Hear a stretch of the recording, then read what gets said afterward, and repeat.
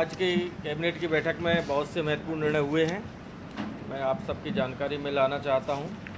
गुरुजी जो पात्रता परीक्षा पास नहीं कर पाए थे, अनुदेशक गुरुजी, जिनकी संख्या लगभग साढ़े सात हज़ार है, कैबिनेट ने उनको सहायक संविदा शिक्षक संविदा शिक्षक के रूप में उनको पात्रता दी है। अब वो गुरु जी के स्थान पर संविदा शिक्षक हो जाएँगे। लेकिन साथ में ये शर्त रहेगी कि अगर वो पाँच साल में डीएड कर लेते हैं तो फिर वो अध्यापक संपर्क में सम्मिलित हो जाएँगे लोकायुक्त संगठन ने महेश चंद मुदगल जी के लिए एक वर्ष की संविदा नियुक्ति का आग्रह किया था कैबिनेट ने उसको स्वीकृत किया है। लोकायुक्त संगठन में कुछ पदों की निर्मित की मांग थी। उप पुलिस अधीक्षक के साथ और निरीक्षक के दस पद स्वीकृत किए गए हैं। विधानसभा सचिवालय में भी सुरक्षा गार्डों की आवश्यकता थी, मांग थी। तैतीस पदों में से सोलह सुरक्षा गार्ड देने का निर्णय हुआ है। राज्यपाल महोदय का विभाग विवेकाधीन जो कोटा होता है, अनुदान, उसमें वृद्धि करके अब उसको एक करोड़ कर दिया गया है। होमगार्ड के संभागीय मुख्यालय, कुछ संभाग मुख्यालयों में नहीं थे। उसकी स्वीकृति की गई है, नर्मदापुरम, चंबल संभाग और शहडोल संभाग। इन तीनों संभागों में भी होमगार्ड के संभागीय कार्यालय होंगे। भोपाल में जो शासकीय आवास आवंटन नियम 2000 था, उसमें कोई संशोधन किया गया है। उस संशोधन के अंतर्गत विवेकाधीन कोटे में कोई वृद्धि की गई है। अभी तो पूर्व में जो दिए हुए हैं, वही नियमानुसार और माननीय सर्वोच्च न्यायालय के निर्णय की वजह से कई सारी दिक्कतें आती थी। इस वजह से तीन नई सेंट्रल जेल और बनेंगी। उसकी अनुमति हुई है वड़वानी, नरसिंहपुर और होशंगाबाद। ये जेल विभाग का प्रस्ताव था इसमें तीन नई केंद्रीय जेलें बनेंगी। चावल प्रोसेसिंग इकाइयों पर जो क्रय कर लगता था, आज उस क्रय कर को, कर से मुक्त किया गया है। मुख्यमंत्री आवास मिशन में स्टाम्प शुल्क माफ़ था, लेकिन वो साठ हज़ार था। अब क्योंकि उसमें मकान की राशि बढ़ा दी गई है, इसलिए एक लाख रुपए तक का उसमें प्रावधान हो गया है, इसलिए एक लाख रुपए तक का उसमें स्टाम्प शुल्क से छूट रहेगी। गेहूँ क्रय करने वाली राज्य सरकार की जो एजेंसियाँ हैं, उनको क्रय कर से मुक्त किया गया है। अभिव्यक्ति, जो पत्रकार बंधुओं की एक संस्था है, उसकी कुछ ज़मीन अभी मास्टर प्लान के अंतर्गत किसी रोड में चली गई थी। उसके बदले में उतनी ही ज़मीन की और मांग की गई थी। तो उतनी ही ज़मीन देने का निर्णय कैबिनेट ने आज कर दिया है। कुछ अभी आगर नया जिला बना है, उसमें कुछ और जिला कार्यालयों की आवश्यकता थी, आपको डिटेल मिल जाएगा। उसमें उनमें सभी के लिए जिला कार्यालय की अनुमति दे दी गई है। शासन पावर लिमिटेड लिमिटेड का एक ज़मीन संबंधी निर्णय हुआ है। सैंतीस दशमलव तीन एकड़ भूमि मेसर से शासन पावर लिमिटेड राजस्व विभाग को समर्पित करेगा और उक्त भूमि को फिर राजस्व विभाग आवंटित करेगा। ऐसा निर्णय हुआ है। लोक स्वास्थ्य परिवार कल्याण विभाग में कुछ वरिष्ठ भौतिक चिकित्साविद और फिजियोथेरेपिस्ट की आवश्यकता थी। उनके पद स्वीकृत कर दिए गए हैं। एक बहुत महत्वपूर्ण निर्णय ये हुआ है कि अभी मध्य प्रदेश सरकार ने जैसा कि निर्णय किया है कि निःशुल्क औषधियाँ वितरित की जाएँगी। औषधियाँ वितरित करने के लिए एक संस्थान और उस सारी चीज़ों के लिए एक औषधि उपार्जन व्यवस्था को सुदृढ़ करने के लिए मध्य प्रदेश लोक स्वास्थ्य सेवाएँ कारपोरेशन का गठन किया जा रहा है। उसका निर्णय आज हो गया है।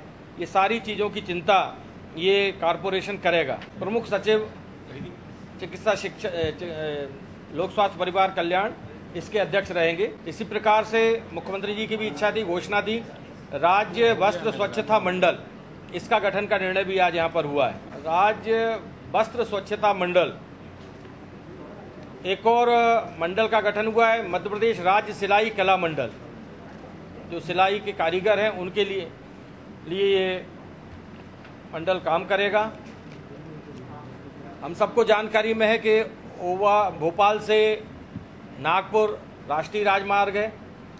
उसमें से उबदुल्लागंज से और इटारसी का जो रास्ता है, भारत सरकार का जो निर्णय हुआ, उसमें ये तय हुआ कि एक सीधा बुधनी, होशंगाबाद इत्यादि इन तीन चारों कस्बों को छोड़ते जोड़ते हुए नया बाईपास बनाएँगे। जब नया बाईपास बन जाएगा तो बाकी हिस्सा नेशनल हाईवे से हट जाएगा और वो सड़क आज भी खराब है और कल जाके और ज़्यादा खराब हो जाएगी। इसलिए राज्य सरकार ने निर्णय ले लिया है कि चार पाँच साल इंतज़ार करने के स्थान पर राज्य सरकार अपने माध्यम से ही हमारा जो एमपीआरडीसी है, उसके माध्यम से सड़क का निर्माण करे। तो इसकी अनुमति भी आज यहाँ पर जारी की गई है, अट्ठासी दशमलव नौ एक करोड़ की लागत की। और मध्य प्रदेश सड़क विकास प्राधिकरण इस सड़क का निर्माण करेगा और विश्व स्तरीय जो अभी पारंपरिक जो रास्ता है, ये रास्ता पूरा सरकार, राज्य सरकार बनाएगी और वहाँ की बुधनी होशंगाबाद, इटारसी तीनों के लिए एक नया बाईपास बन रहा है जिसमें नर्मदा जी का बड़ा पुल भी बनेगा। वो उसमें लेके समय लगेगा दो तीन साल लगेंगे, क्योंकि भारत सरकार के द्वारा वो बनाया जा रहा है। इसलिए राज्य सरकार इस सड़क को अपना बना लेगी। जन अभियान परिषद में जो कार्यकर्ता काम करते हैं, कर्मचारी काम करते हैं, उनके मानदेय में 25 प्रतिशत की वृद्धि की जा रही है, क्योंकि गाँव में रह करके, गाँव में जागरण का काम वहाँ पर समूह के रूप से और शासन की जो महत्वपूर्ण कार्रवाइयाँ होती हैं, उनको वहाँ क्रियान्वित कराने में उनका बड़ा योगदान रहता है। अभी अनुसूचित जाति, अनुसूचित जनजाति के विभाग के अंतर्गत अशासकीय कुछ संस्थाएँ संचालित होती हैं। पहले उनको सौ प्रतिशत अनुदान मिलता था, फिर बीच में उसको पचहत्तर प्रतिशत कर दिया गया था। आज पुनः ये निर्णय हुआ है कि उनके लिए सौ प्रतिशत ही अनुदान शासन के द्वारा दिया जाएगा। बड़े अच्छा काम करती हैं वो संस्थाएँ। बहुत महत्वाकांक्षी योजना सरकार की है, जिसमें नर्मदा और छिप्रा नदी को आपस में जोड़ा गया है। वो परियोजना पर, बहुत युद्ध स्तर पर काम चल रहा है और नवंबर के अंत तक उस वो योजना पूरी हो जाएगी।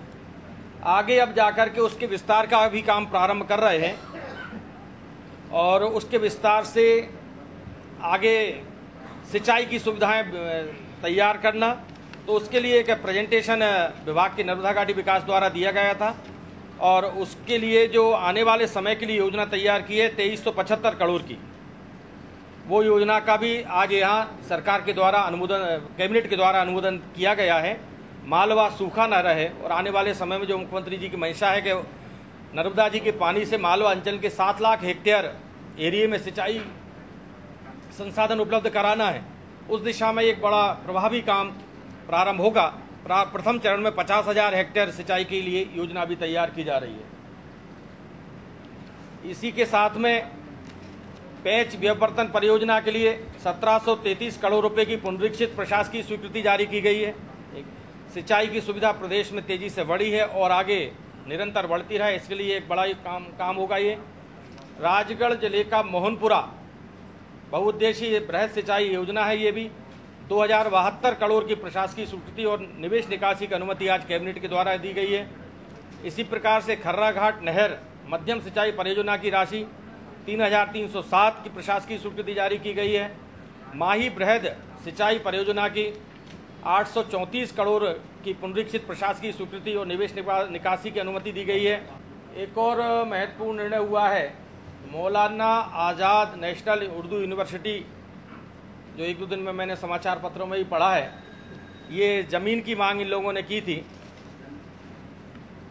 मंत्रिपरिषद ने इनको भी ज़मीन देने का निर्णय आज कर दिया है। ये संस्थान भी यहाँ पर। अपेक्षा ये थी कि भारत सरकार का संस्थान है। भारत सरकार के पास बजट का कोई दिक्कत भी नहीं होती है भारत सरकार इसके लिए पूरा पैसा दे। लेकिन उनने दो आधार हमको बताया कि आप हिंदी विश्वविद्यालय बना रहे हैं, उसके लिए भी आपने निःशुल्क ज़मीन दी है। और संस्कृत विश्वविद्यालय बौद्ध विश्वविद्यालय बन रहा है, उसको भी निःशुल्क ज़मीन दी है। जबकि वो राज्य राज्य सरकार के विश्वविद्यालय और विभागों को ज़मीन दी गई है। इसके बाद भी उर्दू भाषा के विकास के लिए भी काम हो, सरकार ये चाहती है। इसलिए उसको गंभीरता से लेते हुए सरकार निर्णय लिया कि इनको भी निशुल्क वहाँ पर इनको भूमि दी जाएगी। गौ अभ्यारण्य सुसनेर में स्थापित हुआ है, जो विश्व का पहला गौ अभ्यारण्य है, और मुख्यमंत्री जी ने और वरिष्ठ लोगों ने वहाँ उसका शुभारंभ किया था। उसकी एक बृहद योजना तैयार की गई है, लगभग इकतीस करोड़ रुपए की राशि से वहाँ सर्वांगीण विकास किया जाएगा।